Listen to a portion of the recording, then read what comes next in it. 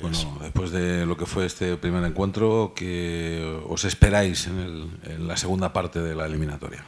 Bueno, pues otra, otra batalla, otra guerra. Yo creo que al final era muy importante para los dos equipos salir vivos, que fue un encuentro, bueno, pues a ser un encuentro yo creo que con muchos puntos y vistoso. Fue un encuentro un poquito de tanteo, en el que ninguno de los dos equipos quería perder la iniciativa o por lo menos estar en distancias en las que la vuelta se complicase más de la cuenta. Ellos allí juegan en una auténtica caldera, van a llenar el pabellón como están llenando, es un pabellón más pequeño que el Lidia, pero, pero lo llenarán como lo están llenando y ahí vamos todos a jugar nuestras cartas 40 minutos que, que va a ser una auténtica guerra. ¿Y nos beneficia ese tipo de escenarios? ¿Nos crecemos ahí? Nos da igual, nos da absolutamente igual. Nosotros tenemos claro cuál es nuestro trabajo, tenemos hecho ya el trabajo del día a día, estamos terminando de afinar algún detalle y sobre todo vamos sin nada que perder. Al final la presión es para ellos ellos son el equipo con un mayor presupuesto en la eliminatoria, es el equipo que juega en casa a la vuelta. La presión es de ellos, nosotros no tenemos absolutamente nada que perder y yo creo que eso es lo que nos hace más peligrosos. El donde jugar, yo prefiero, se lo decía ayer al equipo, yo prefiero jugar con público, prefiero jugar con gente. A mí me gusta porque creo que eso es bueno para el baloncesto y, bueno, creo que que te aprieten es, es motivador también. Bueno, David, un partido como el del otro día también eh, reforzará a tu equipo, ¿no? Porque vamos con esa incógnita de a qué nivel estaban las dos eh, conferencias y de la sensación de que incluso se pudo ganar por más en algunos momentos.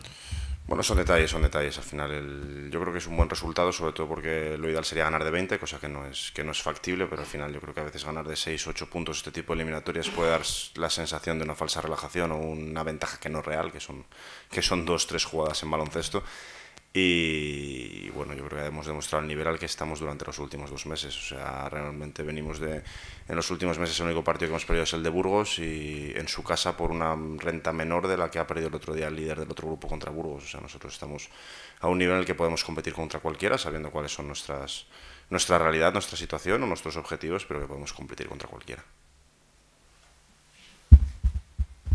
¿Te atreves a menear la balanza de un lado o de otro a favor de, Ibiza, a favor de Ponferrada? Sí, claro, a favor de Ponferrada, porque si no, no viajaríamos para allá. Yo por irme a la playa con, el, con estos chicos, aunque sean encantadores, me voy con mis amigos, o sea, lo tengo muy claro, yo a Ibiza voy a ganar, no tengo, no tengo otro objetivo, sabemos que es muy difícil, pero pero no hay otra cosa, no vamos a, cumplir con el expediente, no vamos a dar buena imagen, todo eso que diríamos, bueno, ya hemos llegado aquí, hemos cumplido el objetivo del club con creces, a mí me da absolutamente igual. Yo a Ibiza de vacaciones me voy con mis amigos y no, y no con el equipo. Alex, ¿y vosotros cómo lo, tomáis? Eh, lo decía David, ¿no? Tal vez esa ventaja tan cortita de dos puntos os mantiene alerta como si fuera el descanso de un partido, ¿no? Un descanso, un descanso de una semana, pero, pero no deja de ser un descanso de un partido. Sí, ahora vamos a jugar la segunda parte del, del partido. Estamos en parte, en parte yo opino igual que David. Creo que el haber ganado de dos no nos permite ningún tipo de relajación.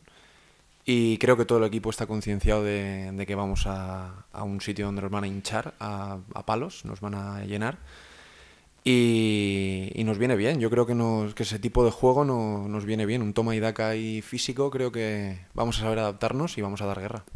Te lo iba a preguntar, eh, dentro y fuera de la cancha, ¿no? ese ambiente del que, del que habla también David, ¿eso también os motiva? Vosotros no, no os veo a vosotros que, que os acojonéis demasiado fácil. No, la verdad que, que no.